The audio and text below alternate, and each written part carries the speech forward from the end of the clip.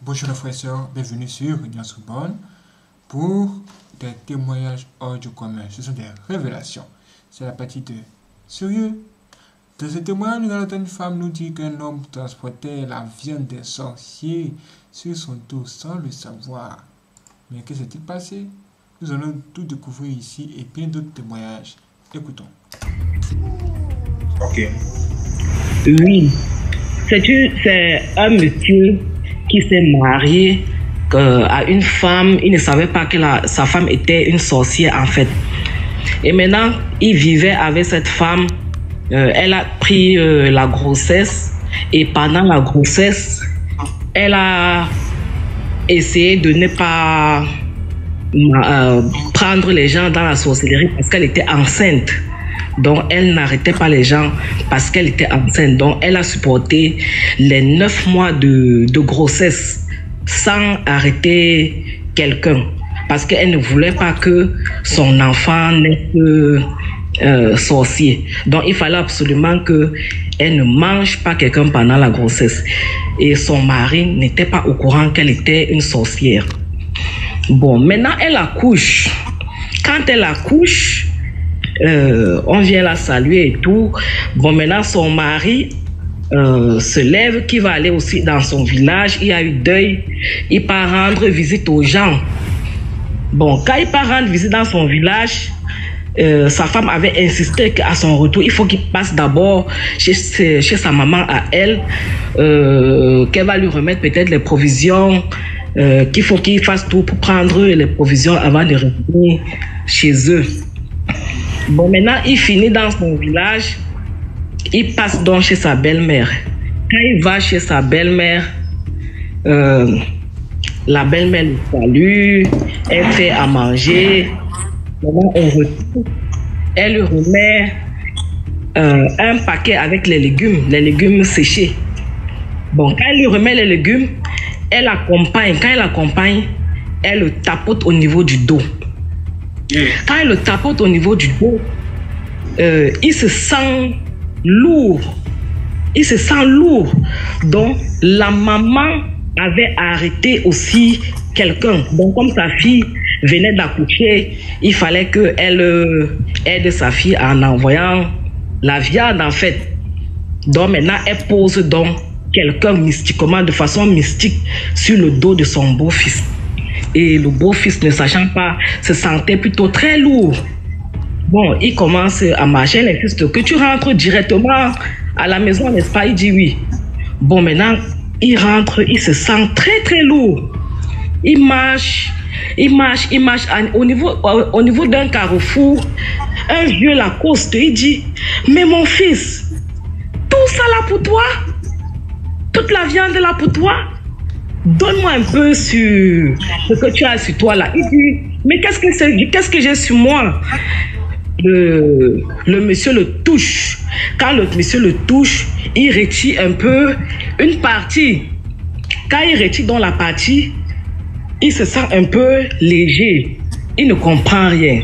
Il continue à marcher. Bon, il se rappelle qu'il y a un de, des amis de leur père qui habitait quelque part là.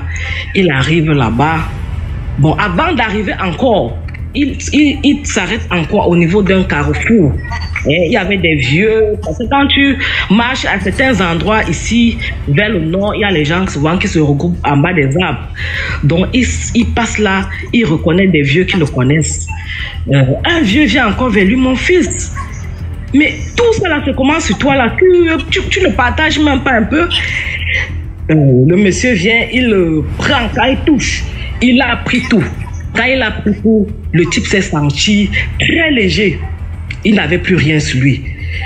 Il est parti retrouver l'ami de son papa. Là, il commence à expliquer que voilà, voilà, voilà, je suis allé chez ma belle-mère, mais en route, je me sens très, très lourd. Je rencontre deux vieillards qui me disent que j'ai porté quelque chose sur moi et quand ils me touchent, je deviens très léger. Le monsieur lui dit, ah bon? Il dit non, ça ce n'est pas normal. Il se lève et il part te rencontrer euh, un tradit praticien dont les, les, les, gens qui font les trucs au sol là. Quand ils partent là-bas, euh, on les envoie d'aller voir euh, le, le, le chef de, de leur bloc. Ils partent rencontrer le chef de leur bloc. On appelle donc vraiment les véritables gens qui savent voir les trucs comme ça. Ils font une assise. Quand ils le font, c'est là où on se rend compte, on explique donc au monsieur qu'en fait, ton épouse est une sorcière. Donc, elle n'a pas mangé pendant toute la grossesse. Il fallait que elle mange vraiment maintenant, là, comme elle a accouché. Donc, c'est là où il était dépassé, surpris. Donc, il était très, très dépassé. Il n'a plus remis les pieds euh, dans sa maison. Il n'a même plus mis les pieds. Les gens seulement envoyé les nouvelles que c'était comme ça, le mariage était fini. Et c'est comme ça, il a pris peur, il a disparu. Vous avez vu ça? Donc, pour dire que ren- il faut toujours qu'on se, qu'on se renseigne. Renseignez-vous toujours sur les gens, leur famille, le quartier, avant d'aller prendre une femme ou un mari. Toujours se renseigner. C'est ce que nous, on nous dit toujours chez nous. Toujours se renseigner sur l'origine de chaque famille, toujours avant d'aller prendre un, un homme et une femme. Donc, c'était un peu. Hein? Avez entendu ce qu'elle a dit Revenons juste un peu en arrière pour bien écouter ça. disparu. Donc, pour dire que ren- il faut toujours qu'on se, qu'on se renseigne. Renseignez-vous toujours sur les gens, leur famille, le quartier, avant d'aller prendre une femme ou un mari. Toujours se renseigner. C'est ce que nous, on nous dit toujours chez nous. Toujours se renseigner sur l'origine de chaque famille, toujours avant d'aller prendre un, un homme et une femme. Vous avez entendu? Il faut toujours se renseigner sur l'origine d'une famille avant d'aller prendre une femme là-bas. Vous avez entendu ça? Imaginez que vous, vous croisez une fille et que elle, sa famille là, là-bas, là, les gens adorent la sirène qui est ici. Un esprit qui mange les gens. Un esprit à qui on sacrifie des humains. Qu'est-ce qui va vous arriver, vous? À un moment donné, si vous avez des enfants avec cette, cette, cette femme, vous allez voir qu'ils vont même sacrifier vos enfants, mais vous ne saurez même pas que c'est ça. C'est comme hier, j'ai vu un homme, lui, il a vu une fille. Elle était très belle fille, une très belle fille. Yo, celle-là, je l'aime déjà. C'est comme un ange, c'est mon ange. Il a décidé de l'épouser. Alors que elle, c'est une sorcière. Elle, ses, parents l'ont dédié à un esprit des eaux. Ses, parents, en fait, ça, il y a sa mère qui avait du mal à avoir un enfant. Et sa mère allait voir un mystique, une femme mystique. Et cette femme mystique-là l'a conduit vers l'eau. Et là-bas, la femme mystique a parlé aux esprits des eaux. Et ces esprits on leur dit, écoute, si tu, veut avoir un enfant, qu'elle sache que nous sommes capables de lui donner un enfant, mais l'esprit de l'enfant va nous appartenir.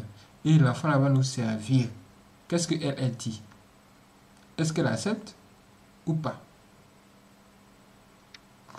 La femme était tellement serrée. Elle cherchait tellement enfant que elle a dit qu'elle accepte. C'est ce qu'elle a dit, hein? Elle a dit qu'elle accepte. Et elle a accepté que son enfant puisse adorer les esprits des eaux. Et son enfant, dès qu'il est né, ça n'a pas duré net. Il est entré, c'est-à-dire de façon naturelle, dans la servitude des- de ces mauvais esprits des eaux-là. Et c'est cette fille-là qui a grandi. Et c'est elle maintenant qui, qui a rencontré cet homme. Ou bien c'est elle que cet homme-là a rencontré.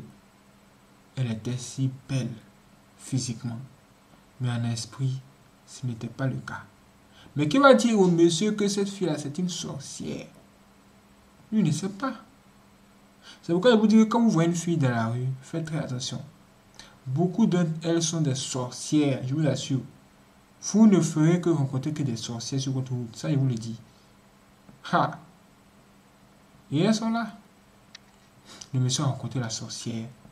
Et il ne sait même pas que celle qu'il adore, celle qu'il aime de tout son cœur, là, en fait, est un mauvais esprit, ou bien à un mauvais esprit, ou des mauvais esprits, qui sont même prêts à le dévorer, qui sont même prêts à le manger. Sérieux, c'est un truc hors du commun. Faites très attention. Ne négligez pas cette partie-là. Cette partie-là, ça va vous sauver la vie si vous faites très attention. Aujourd'hui même, j'ai eu très mal au cœur à cause d'une sorcière et de couple de sorcières qui ont fait des complots. Et elles riaient. Elles riaient. Elles se sont associées pour m'attaquer. Et ça les faisait rire. Des filles très belles, quand vous les voyez, vous dites, elles sont jolies. Elles sont belles, mais elles sont des sorcières. Une sorcière, même si elle est belle physiquement, vous ne devez pas ouvrir votre bouche pour dire qu'elle est belle, sinon vous aurez des problèmes. Je vous assure, hein. Donc ne dites plus qu'une fille est belle sans avoir vu son état d'âme, sans avoir vu son origine, sa famille, quel esprit se trouve dans sa famille. Parce que beaucoup de familles transportent beaucoup de problèmes, beaucoup de mauvais esprits. Même leur maison est un lieu de rencontre des démons. C'est rien. Hein? Hmm. Alors, depuis là, pour savoir plus sur cette affaire, il y a deux choses encore à découvrir. C'est parti. Bon, c'était un peu mon histoire. Merci beaucoup, Hortense, pour étudier vos passés. Le passé n'est pas que c'est ton faute, est-ce ton euh, Moi, je vais aussi parler toujours du côté des, des mamans du village. J'ai vécu une histoire j'ai vécu une histoire comme ça, je ne vais pas trop appeler les noms, puisque de peur qu'il y a des gens qui vont m'écouter aussi. Sinon, euh, il y a des traditions vraiment compliquées. J'avais, disons, un oncle qui a accouché, et puis il a accouché au village. Et du coup, on a appelé une maman, puisque la maison c'était une très grande conception. On a appelé une maman de, de Massé, quoi. Comme vous voyez chez nous, en pays bamileke, quand une femme accouche, on dit qu'on masse son ventre, on attache le ventre. Du coup, il y a les mamans, les gens qui ont dit les deux yeux, en fait. Il y a les gens qui, quand ils te massent comme ça, quand on voit que tu peux évoluer, peut-être que l'enfant peut être quelque chose de demain. Parfois, on profite pour retirer, peut-être pour retirer l'intelligence de l'enfant. Toi, la femme de mon oncle, on l'avait massé comme ça et puis du coup, jusqu'aujourd'hui, ça fait presque euh, 20 ans. Tu, tu, tu, as, tu as dit qu'un oncle, un oncle qui a accouché. Parce que là, son, son, femme, euh, femme qui a accouché et puis on l'a massé. Une femme l'a massé Ok, comme ça. voilà. Donc, du coup, ça fait presque 20 ans qu'elle n'a plus jamais accouché. Donc, ce que j'aimerais dire aux gens, c'est que les hommes apprennent, si oui, s'il faut le faire, que les hommes apprennent à masser leur femme seule. Qu'on ne laisse plus n'importe qui faire le, le massage du ventre ou même masser l'enfant et tout. L'homme doit apprendre à faire ça sur sa femme comme quand sa femme est encore faible. L'homme doit apprendre à faire cela. Donc, c'est un truc que j'ai vécu étant petite et jusqu'à aujourd'hui, la femme n'a plus jamais accouché. Donc, c'est ce que j'aimerais partager. Merci. D'accord. Merci beaucoup, Elimini. Histoire qui me concerne. C'est vrai hein, ce qu'elle dit. Vous ne laissez plus les gens toucher vos enfants n'importe comment. Souvent, vous mettez un enfant au monde, tout le monde vient visiter l'enfant là. Faites attention. Ce n'est pas tous ceux qui viennent visiter l'enfant qui sont animés d'un bon esprit. Il y a certains qui viennent pour transmettre la sorcellerie au bébé là. Je vous assure, hein. personnellement. Euh, c'est bon? Oui. D'accord, d'accord. Bon, c'est comme d'habitude, moi, j'ai l'habitude de suivre vos histoires chaque jour avant de dormir parce que je télécharge. Chaque jour avant de dormir, je mets euh, pour dormir. Bon, la dernière fois, j'étais en train de dormir, je mets l'histoire. Comme d'habitude, je suis en train de suivre. Je me plonge dans, dans un sommeil là. Donc, j'ai suivi les histoires. Bon, après, le sommeil m'a pris. À l'instant, je me plonge dans un sommeil. Une fois en dormant, un rêve, je commence à rêver. Donc, déjà, je suis en train et je suis conscient que je suis en train de rêver. Je veux me lever, mais il n'y a pas moyen. Je suis en train de rêver, mais je sais quand même que non, ça rêve. Bon, dans le rêve, je suis avec une fille dans le. Je sais déjà, j'ai la possibilité de me lever, mais je ne peux pas. Mais je sais quand même que je suis dans le rêve avec une fille. La fille est nue. Moi, je suis là, ici, la là à la fenêtre. Bref, il y avait les gens dehors, on était dans la chambre ensemble. Elle est nue, je suis là. Bon, je lui propose donc, entre temps, moi, je veux taper l'eau avec elle, tout ça. Bon, dans le rêve, je suis en train de rêver. Elle m'accorde. On est en train de, on est à l'action. Je sens comment, c'est comme si mon corps réellement, quelqu'un est en train de me toucher. Je suis dans le rêve, on, est face à l'action, on commence à faire tout et tout.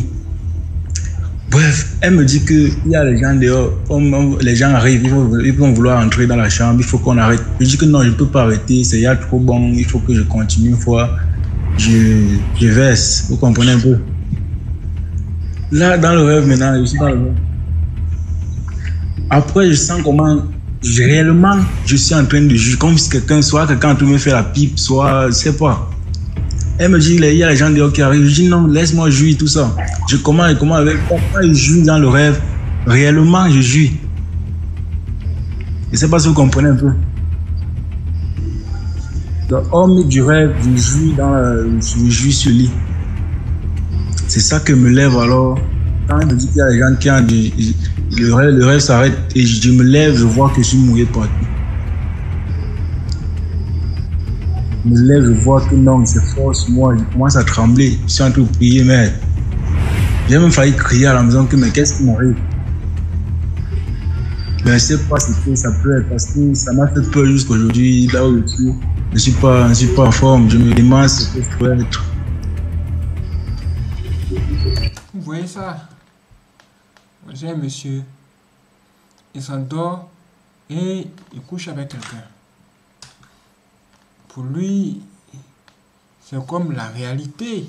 Et ses désirs sont réels. C'est-à-dire, de la manière il parle à, une femme, quand il la désire physiquement, c'est comme ça qu'il parle à cette femme-là dans son rêve.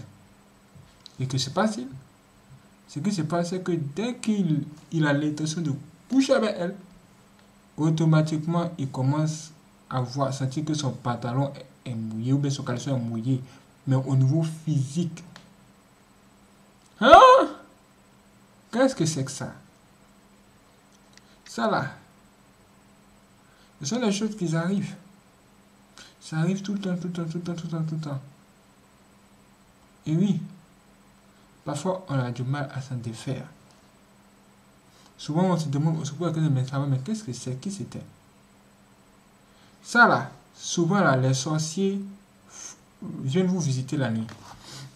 Un sorcier peut vous venir vous, visiter sous la forme d'une belle femme. Juste pour coucher avec vous et vous soutirer quelque chose. Parce que quand vous allez verser votre sémence là, pour eux, ça signifie qu'ils vous ont pris quelque chose. Quelque chose de précieux. C'est pourquoi, quand vous voyez de choses dans vos rêves, vous voyez une femme qui vous attire dans votre sommeil, faites un effort de vous réveiller. Juste, réveillez-vous de la vie réelle et dites priez. Faites une prière, dites, dites à Dieu, dites Seigneur Jésus-Christ, euh, viens me délivrer de ce mauvais esprit qui vient de me visiter. Fais mon combat. Fais mon combat. Fais mon combat. Amen. Puis vous vous rendormez. Si vous voyez la même personne, relevez-vous encore. Priez encore. C'est le combat spirituel là qui est là. Et oui, ça ressemble à quelque chose de, de, de, de, de rien. Ça ressemble à rien. Mais les dégâts sont, sont énormes. Faites attention. C'est-à-dire que si vous vous couchez avec des gens dans votre sommeil chaque jour, vraiment, sachez qu'il y a des sorciers qui sont autour de vous qui font ça. Et les sorciers là ne viennent pas de loin. Ils sont près de vous. Oui, plus proche de vous que vous ne le pensez. Ce sont eux qui font ça. Pour vous épuiser même. Et oui. Hum, que Dieu vous garde. On est plus là pour découvrir encore d'autres choses. J'ai confirmé ça le tout aussi. Ah, écoute, de nuit, comme de nuit, c'est du coup, faussement. Je vais très bien et toi? Monsieur qui devient invisible pour aller voler. Yeah. va nous parler d'un monsieur qui devient invisible pour voler chez les gens. Mais un jour, il sera surpris parce qu'il va rencontrer, il va rencontrer quelqu'un qui est plus fort spirituellement que lui. Et ça sera chaud. Écoutons. Sorcier aller rencontrer sorcier. C'est un monsieur qui est initié dans un peu de tout. Quand je dis un peu de tout, il est, il fait un peu de tout, il est dans un peu de tout et tout. Donc, c'est un monsieur, lui, il utilise euh, sa connaissance pour aller voler. Parfois, vous allez remarquer que vous déposez l'argent, personne ne rentre dans votre chambre, l'argent disparaît de lui-même. En réalité, c'est pas un fait, c'est pas un fait ordinaire, c'est quelque chose. Parfois, c'est des gens qui viennent prendre l'argent en réalité. Ce monsieur, il passait tout son temps la nuit à aller voler, parfois même des chèvres, hein, des sacs de maïs, et il rentrait avec tout ça là chez lui tranquillement. Il s'est fait que un soir, il est allé dans un peul, dans un camp peul. Il voulait voler le bœuf. Ok, les, les peuls aussi, ce sont des mangeurs de gris-gris. C'est des personnes qui mangent beaucoup de médicaments pour, pour pouvoir collaborer avec les animaux. Ce monsieur-là, il est allé, il avait déjà, il était venu une fois déjà, et puis il a volé les bœufs du monsieur, deux bœufs du monsieur, et il est rentré avec. Alors, le monsieur a remarqué que deux bœufs ont disparu. Mais les bœufs ne peuvent pas rentrer dans la nature comme ça. Donc il a cherché, cherché, cherché, il n'a pas trouvé. Donc il a compris que c'était quelqu'un qui était venu voler. Mais il a suivi, il a compris que celui qui était venu voler le bœuf n'était pas venu visiblement. La personne n'était pas venue visiblement. Donc, il est retourné quelques temps après dans, le, dans la ferme du, du Peul pour encore aller voler des bœufs là-bas. Parce que lui, c'est son business. Lui, il vole seulement. Mais lui ne vole pas avec les dos, avec les, les armes, non. Lui, il vient chez toi, il prend ce qu'il veut, il part, tu ne le vois pas. Et tu vas accuser quelqu'un qui est là que c'est lui qui a volé, alors que lui-même, il n'a rien à voir avec ce, qui, ce que tu as perdu. Donc c'est comme ça, il est venu et il a encore volé le bœuf. Il est parti. Le monsieur l'a suivi, mais il n'a pas vu le monsieur, il n'a pas vu le peuple quand le peuple le suivait. Jusqu'à quand il est rentré chez lui, là où il dépose les trucs, il a volé les animaux et tout. Parce que c'est un monsieur généralement, quand tu rentres chez lui, tu vois, il a un peu de tout. Mais tu ne sais jamais comment il a fait pour avoir les animaux là. Tu ne sauras jamais comment il fait. Il vend seulement les animaux. Tu viens chez lui, tu dis je veux ça, il te vend ça. Tu dis je veux ça, il te vend ça. Lui-même, il ne va pas acheter quelque part pour qu'on dise ah, on a vu là, il va acheter quelque chose quelque part. Le père l'a vu là où il a déposé le bœuf, le père n'a rien dit. Donc le lendemain matin, le père est venu en chair et en os. Le père lui a dit tu viens la nuit pour voler mes bœufs. Il a dit non, que lui n'a pas volé les bœufs. Donc il a contesté que parce que les bœufs, quand il amène le matin très tôt, il y a des gens qui, ceux qui vendent des viandes dans les abattoirs là, ils viennent payer ça chez lui très tôt le matin pour aller tuer. Donc quand le peuple est venu, le peuple n'a pas trouvé les, bœufs. Il a dit, ah, j'ai vu la nuit, tu étais venu prendre les bœufs. Donc, Ils ont commencé le débat. Les gens se sont dit, non, mais le bœuf là, le monsieur dort la nuit. La femme a dit, non, il, a dormi toute la nuit à côté de moi. Donc je ne vois pas comment il peut aller voler ton tes bœufs. Parce que peut-être tu as vu, il a beaucoup d'animaux ici. C'est pour ça que tu dis qu'il a volé tes bœufs et tout.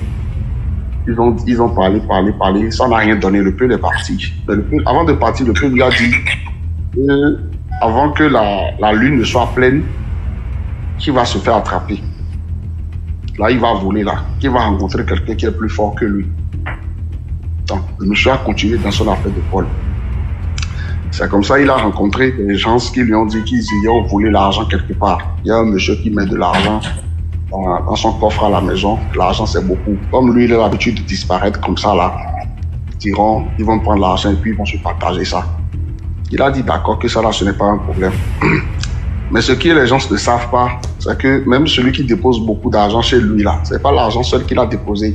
Il a déposé quelque chose en bas de l'argent là. C'est pourquoi ceux qui font les, médicaments pour disparaître, ils n'arrivent pas à vider les banques. Ils ne peuvent pas. Donc, il est allé, ils sont allés là-bas, effectivement, il a pris l'argent, mais il ne pouvait pas sortir avec l'argent. Quand il dépose l'argent, il sort de la maison. Mais quand il prend l'argent là, il n'arrive pas à en sortir. Finalement, ils, ils insistaient jusqu'à ce qu'il a perdu même le chemin de sortie. C'est-à-dire, il était dans la maison du monsieur, mais il ne pouvait plus sortir. Il a tout fait, il ne pouvait pas sortir. Il a cherché le chemin de sortie, il ne trouvait plus. Le matin, le monsieur l'a vu. Le monsieur l'a dit, bon, comme tu es venu pour voler ici la nuit, mon portail est fermé. Je ne sais pas comment tu es rentré jusqu'à tu es rentré dans ma chambre là où je mets mon argent. Le fétiche que j'ai dans la maison, c'est toi que je vais prendre pour donner au fétiche et il va me faire l'argent parce que le monsieur, le monsieur aussi, c'est un monsieur qui est dans les louches, des sacrifices bizarres, bizarres pour avoir l'argent. Et c'est dans ça, il a commencé par, ils ont commencé par faire un, combat d'incantation. Genre, tu me dis tes paroles sacrées, je te, je te dis mes paroles sacrées, ils ont commencé ça. Le monsieur là, l'a affaibli, il a tout fait, tout fait, mais il n'arrivait plus à battre le monsieur parce que le monsieur aussi est trop blindé. Dans sa maison, il a un peu de tout. Et c'est comme ça, le monsieur a dit, on va l'attacher et puis ils vont le calciner, que lui veut la poudre. Donc, les gens ont compris qu'il y avait quelque chose qui, se passait dans la maison. Ils ont, ils ont commencé par toquer le portail du monsieur. Le monsieur a ouvert. Ils ont demandé, mais qu'est-ce qui se passe? Le monsieur a dit, non, rien. Déjà, le monsieur est étrange même en question parce que lui-même, ses enfants n'habitent pas avec lui. Sa femme n'habite pas avec lui. Il a une autre maison où tout le monde habite. Mais dans cette maison-là, il est le seul qui reste là. Avec euh, celui qui lui fait à manger. Et la personne vient faire manger la journée.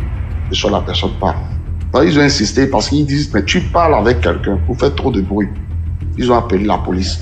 La police est venue et c'est là ils ont découvert qu'il avait dit j'allais ligoter le monsieur et il, va le calciner pour récupérer sa poudre. Quand on, a, inter- quand on a posé la question au monsieur, c'est comme ça le monsieur a expliqué que ah, le vieux, s'il est rentré dans ma maison, il était venu pour voler l'argent. L'argent que j'ai déposé ici, c'est l'argent des fétiches. Apparemment, c'est son habitude de passer dans les murs pour aller voler. Cette fois-ci, là, sorcier a rencontré sorcier.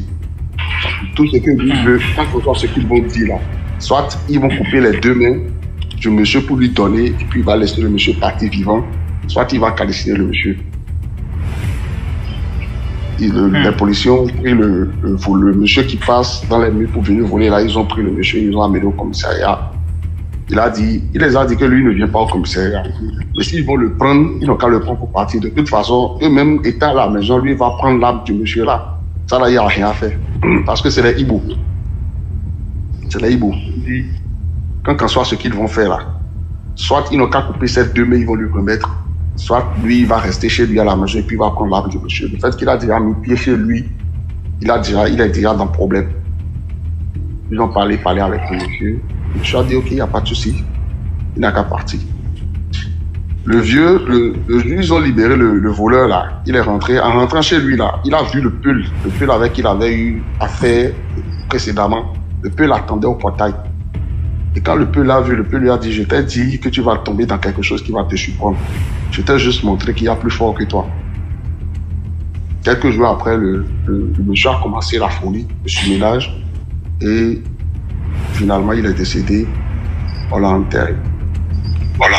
Donc, je vous dis juste que les voleurs que vous voyez là, les vrais voleurs là, eux, c'est pas les murs, ils passent. Et je connaissais quelqu'un comme ça aussi.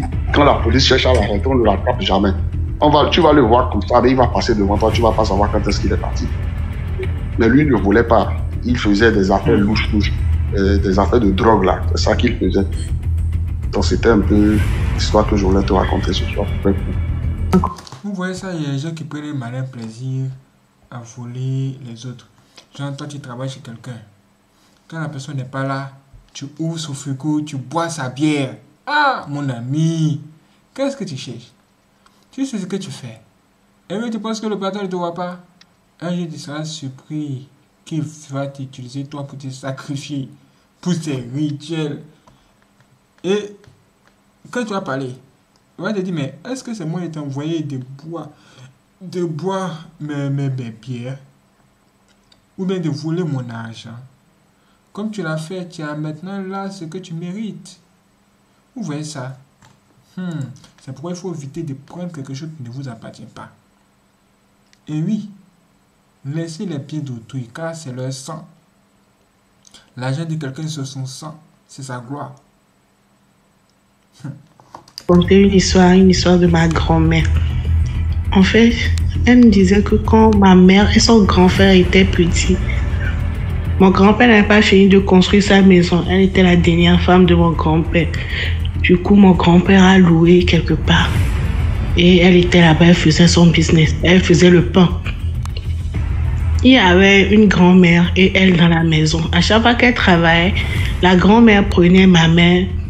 Comme ça, ma maman ne la dérangeait pas.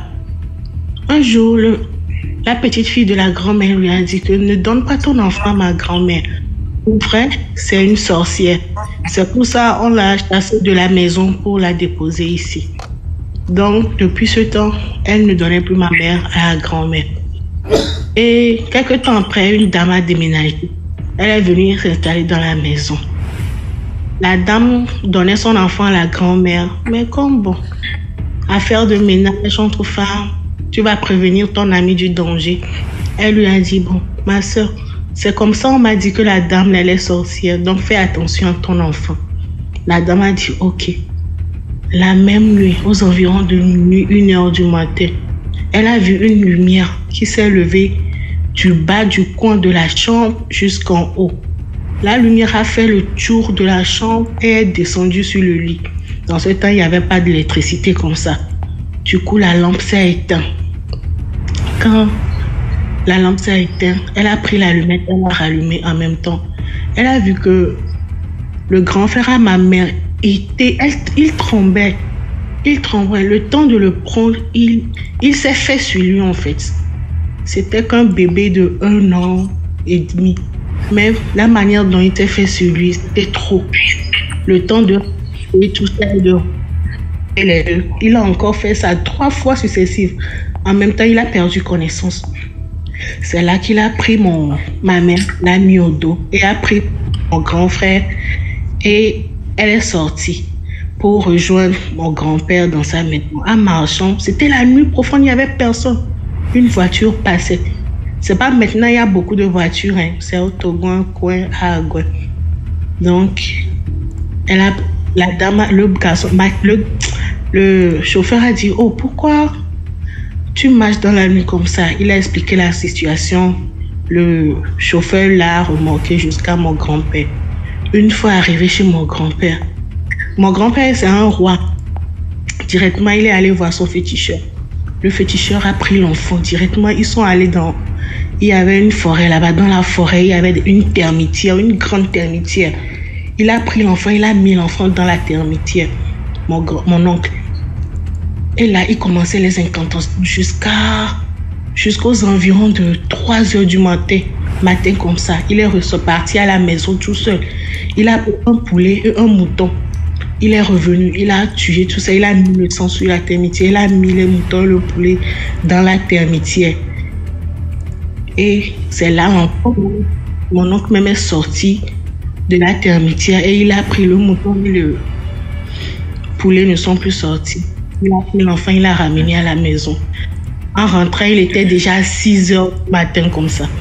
C'est là il a dit à ma mère que, à ma grand-mère que, pourquoi tu as dit ça à cette femme?